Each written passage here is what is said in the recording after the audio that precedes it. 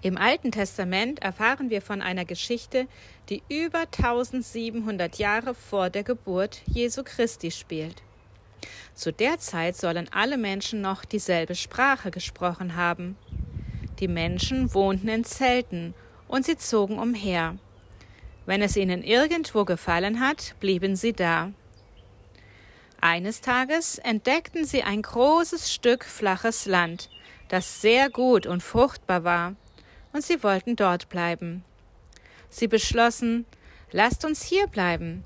Wir wollen uns Häuser aus festen Steinen bauen, mit Fenstern und Türen und Dächern. Dann müssen wir nicht mehr in Zelten wohnen. Und dann fingen sie an, aus Lehm Steine zu formen und in der Sonne zu trocknen. Die Steine fügten sie mit Mörtel zusammen und bauten sich Häuser. Sie bauten sich eine ganze Stadt. Aber dann wurden sie übermütig. Sie sprachen, Hey, lasst uns einen riesigen Turm bauen, bis in den Himmel so hoch. Dann können alle ihn sehen und begreifen, dass wir die Größten sind. Dann wird alle Welt über uns sprechen. Und sie fingen an, Steine zusammenzutragen und setzten einen Stein auf den anderen immer höher. Aber es war ihnen einfach nicht genug. Der Turm muss noch höher sein. Los, weiter, trieben sie sich gegenseitig an. Aber Gott sah sich das Vorhaben der Menschen an und wurde traurig.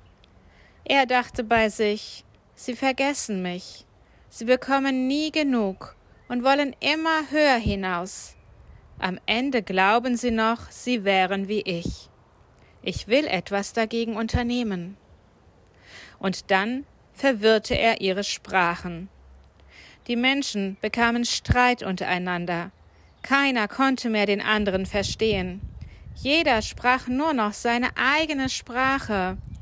Da gaben die Menschen den Turmbau auf, und sie zogen aus der neuen Stadt weg in alle möglichen Richtungen.